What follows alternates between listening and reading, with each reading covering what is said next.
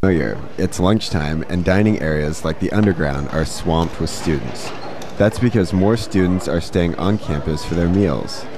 But the convenience of on campus dining can be a problem for many. I know I'll class to one Monday, Wednesday, Friday. So, like, I don't really have a time of day where I can come eat where it's not overly crowded, slash, I have to wait for 20 minutes to get food, slash, I can find a spot, or it's just like, I don't know. It, it makes it a little more stressful than it should be.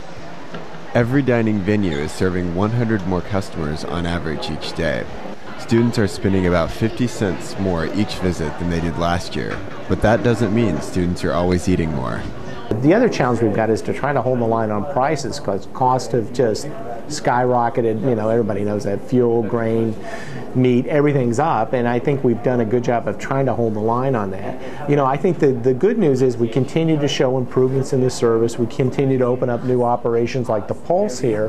And that is just one step KU Dining is taking to accommodate the crowds and their requests. This year, KU Dining spent $8,000 for outdoor seating. It is the third year in a row the Underground has expanded its patio. Jacob Musselman, KUJH TV News.